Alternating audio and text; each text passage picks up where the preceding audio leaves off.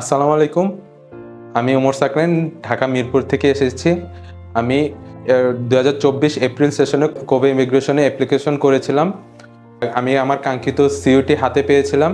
গত মার্চের চব্বিশ তারিখে আমি অ্যাম্বাসি ফেস করেছিলাম। দীর্ঘদিন ওয়েটিংয়ের পরে, আজকে ষোলোই এপ্রিল, আমি আমার কাঙ্ক্ষিত ভিসাটি হাতে পেয়েছি। দীর্ঘদিন ওয়েটিং থাকার পর আমার ভিসাটি নিয়ে আসতে পেরেছি।